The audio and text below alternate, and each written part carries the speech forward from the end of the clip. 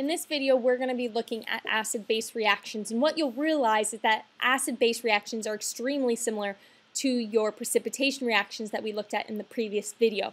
But before we actually learn how to write these acid-base reactions, we first need to go over a couple of key terms. First, we're going to review acids very briefly. Acids are substances that ionize to produce hydrogen ions, meaning when they're put into solution, the ions, the cation and the anion break apart, and the cation is the hydrogen ion. Now, what you'll notice when you're looking at your textbook, a lot of the time we refer to hydrogen ions as protons. If you think about it, a hydrogen atom has one proton and one electron. And so if you have formed a hydrogen ion, what that means is you have removed that one electron, and all that's left is simply a proton. And so that's why we sometimes call hydrogen ions protons because they are. They're just one proton. Acids can be described as either monoprotic, diprotic, or triprotic. Mono means one, di means two, tri means three, so that means how many protons or how many hydrogens can be released from the acid. So for example, sulfuric acid, sulfuric acid is a diprotic acid because it can lose that first electron and it and as you can see right here when sulfuric acid loses that one proton, that one hydrogen ion, it produces that hydrogen ion and then also HSO4 with a negative one charge. Now that HSO4 can then lose another proton to become H plus and SO4 2 minus. Now keep in mind, notice that the sulfuric acid has a single arrow in the right direction, while the second one, for the second one, you have a double arrow. So what that means is that sulfuric acid is a strong electrolyte, while the second one is a weak electrolyte, and we'll actually look at what that means in just one second in terms of acids. But we already studied strong and weak electrolytes previously. When we're talking about bases, bases produce hydroxide ions. So for example, magnesium hydroxide, MgOH2, when it ionizes, it produces OH with a negative one charge when it dissolves in water. However, it also can accept hydrogen ions. And so for a base to be a base, it doesn't necessarily have to produce hydroxide ions. For example, when you have ammonia, ammonia can actually accept a hydrogen ion from water. Ammonia therefore acts as the base, producing ammonium, NH4+, plus, and then hydroxide with a negative 1 charge. We will actually look at this definition of bases later, but it is important for you to remember that for a base to be a base, it does not necessarily have to have OH. What we're going to talk about right now is strong acids and strong bases. As you look as you saw in the previous slide, a strong acid is one that is a strong electrolyte. So sulfuric acid is one of your strong acids. Same thing with strong bases. They are strong electrolytes. So this list of strong acids includes HCl, HBr, HI, HClO3, HClO4, HNO3, and H2SO4. Those are all strong acids and yes, that does matter, and yes, you do need to know that because that influences significantly your neutralization reaction. For strong bases, they include your group 1 metals with hydroxide, and then also calcium, strontium, and barium. So what I want you to do right now, I want you to look at this diagram that I've provided you. You have HX, HY, HZ. These are all acids. I want you to rank these acids from strongest to weakest based on what you see, just to make sure you have a clear understanding of what exactly a strong acid is. This table summarizes the types of compounds that are strong electrolytes, weak electrolytes, and non-electrolytes. If you look at the strong electrolyte section, all ionic compounds are strong electrolytes, meaning that they dissociate into their ions. The other type of strong electrolyte are your strong acids. Those are the seven that we looked at on the previous slide. Weak electrolytes involve your weak acids and your weak bases. And your non-electrolytes are all the other molecular compounds that we looked at, for example, glucose, that do not dissociate completely and therefore exist as neutral compounds in addition to few ions. So let's actually look at an acid-base neutralization reaction. The general format includes an acid reacting with a base, and what it produces is a water and salt. So this example problem tells you that perchloric acid reacts with calcium hydroxide. So you've got your acid, which is perchloric acid, and you've got calcium hydroxide, which is your base.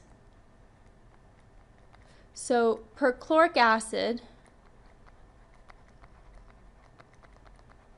and your calcium hydroxide. So keep in mind that what's going to be formed is a salt and then water. So I'm going to first write, my first product is going to be water. And then my second product is going to be, well, this is perchlorate, and this is calcium, so it's going to be calcium perchlorate. Because remember, perchlorate is one of your polyatomic ions. It has a negative charge, therefore it's written second. So the first thing that I need to do is write my molecular equation for this acid-base reaction. So perchloric acid, remember the formula for perchlorate is ClO4 with a negative 1 charge. So perchloric acid is HClO4. And it's going to react with calcium hydroxide, which is CaOH2 to produce water, which is just your H2O, and calcium perchlorate. So calcium has a 2 plus charge, perchlorate is negative 1, so it would be Ca ClO4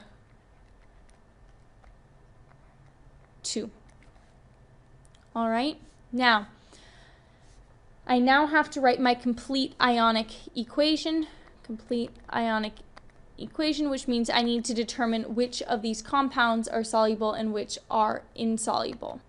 So perchloric acid is one of your strong acids, which means it's going to dissociate into its ions. So you've got H plus and you've got ClO4 with a negative charge. When you're looking at acids and bases, remember that the only acids and bases that completely dissociate are those that are strong acids and those that are strong bases. In this example, perchloric acid is a strong acid and calcium hydroxide is also a strong base. So they're going to dissociate into their ions and they're going to form water this does not break into its ions. It's a molecular compound. And calcium perchlorate, this is a soluble compound. So it's going to dissolve into its ions.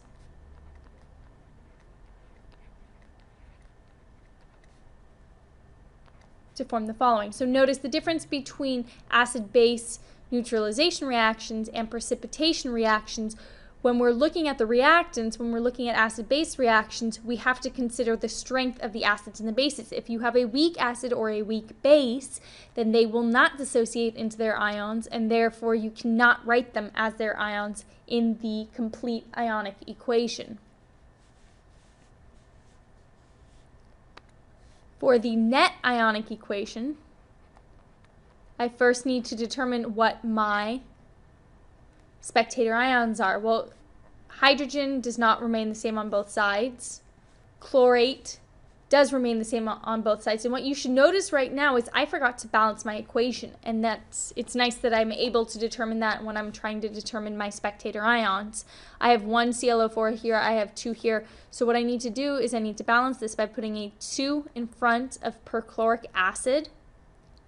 And then I need, because I have two hydrogens here, and I have two hydrogens here, which is a total of four. I need to put a two right here. So that would need a two right there. I have two hydrogen ions. I have two chlorate, perchlorate ions. And now I'm good. So my perchlorate ions will cancel because they are spectator ions and they are not directly involved in this reaction. Same with my calcium. And so my net ionic equation for this will be two hydrogen ions plus two hydroxide ions and it will produce two water molecules.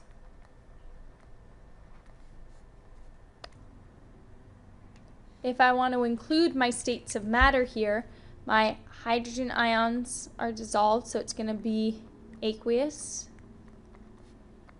My hydroxide ions will also be aqueous. And water is a pure substance, is a compound. Therefore, it will be a liquid. In neutralization reactions, the base does not always have to have OH. And so in these two examples, you have sodium sulfide and sodium bicarbonate, which are acting as the bases, while you have hydrochloric acid as the typical acid that you would predict. Now, if you have an acid reacting with a sulfide, what happens is that it forms a gas, and those gases are not soluble. They have low solubility in the solution, and they produce extremely foul odors. So let's write out this reaction. Let's write out the molecular equation first. So you have hydrochloric acid, which is HCl. And it reacts with sodium sulfide. So the formula for sodium sulfide would be Na2S. And so what's going to be produced is 8 hydrogen and sulfur are going to combine to create H2S and sodium chloride, NaCl. First thing I have to do quickly is balance. I have two sodiums on the left-hand side, so I need to put a 2 right here. And I have two hydrogens on the right, so I need to put a 2 here, and now I am balanced. Now I'm going to write the complete ionic equation. And remember, I have to consider the strength of the acid in the base. And if it's not an obvious base, I have to consider solubility rules. So hydrochloric acid is a strong acid, so I have two H pluses, and I have two chlorines, because it's a strong acid.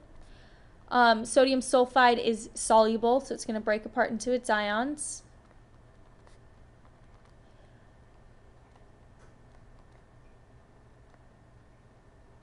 This, as was mentioned before, it has low solubility, so hydrogen sulfide is going to remain as a compound. And then NaCl is going to break apart because it's soluble. So I have two Na pluses and two Cl minus. So the net ionic equation, I'm getting to the point, guys, at which I don't have to cross out my spectator ions. My net ionic equation is going to be 2H plus, and this is going to be aqueous because it's dissolved in solution, plus S2 minus, which is also aqueous, and it's going to produce hydrogen sulfide, which is a gas. Okay. For the next one, if a carbonate reacts with an acid, it's going to form carbonic acid, which is unstable, and therefore it's going to decompose into water and carbon dioxide. So let me show you what happens there. Okay. Keep in mind these are neutralization reactions because I have an acid and a base. So I have HCl again, and it reacts with sodium bicarbonate. Remember, bicarbonate is one of your polyatomic ions, has a formula of HCO3 with a negative one charge. So the formula for sodium bicarbonate, or hydrogen carbonate, it's also called, is NaHCO3, and it's going to react to form H2CO3, which is carbonic acid. Hydrogen is going to combine with HCO3, and then you also have NaCl. All right, so let's write out the complete ionic and then the net ionic equation. Okay, HCl, hold on one sec. Let's make sure I don't need to balance. I've got two H's here, two H's here, a Cl, a Cl, Na, Na, and I believe I am good. So hydrogen breaks apart into its ions because it's a strong acid. Sodium bicarbonate is soluble because you've got a group 1 metal right there.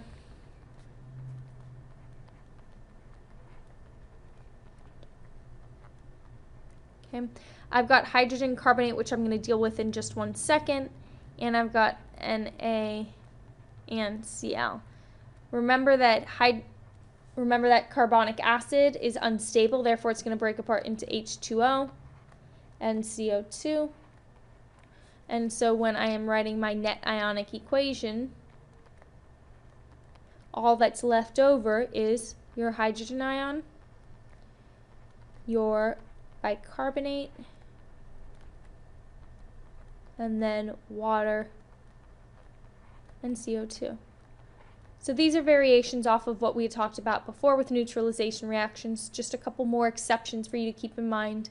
Remember that the reason why they're neutralization reactions is because you have an acid reacting with a base.